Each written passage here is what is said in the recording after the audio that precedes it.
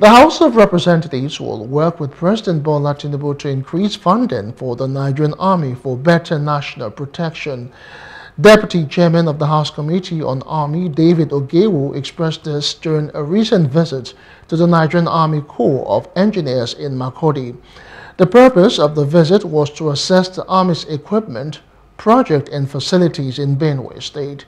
Now, Commandant of NASME, Major General Audu, welcomed the committee and provided updates on projects before leading them on an inspection.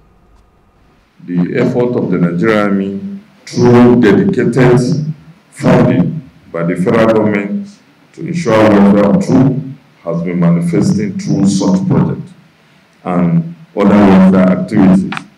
NASME has benefited from projects which are so far in different states of completion.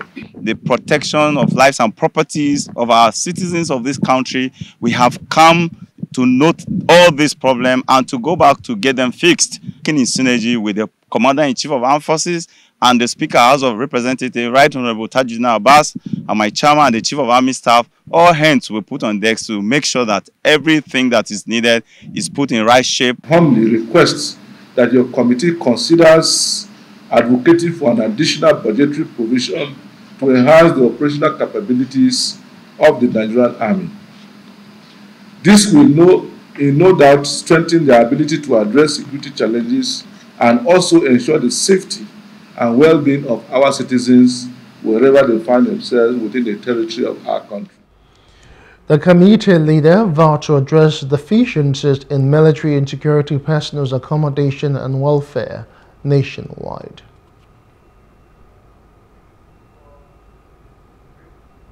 Earlier, the state deputy governor, Sam Ode, who received the committee members, urged them to ensure that the army is adequately equipped to effectively carry out their duties. Hello. Hope you enjoyed the news. Please do subscribe to our YouTube channel and don't forget to hit the notification button so you get notified about fresh news updates.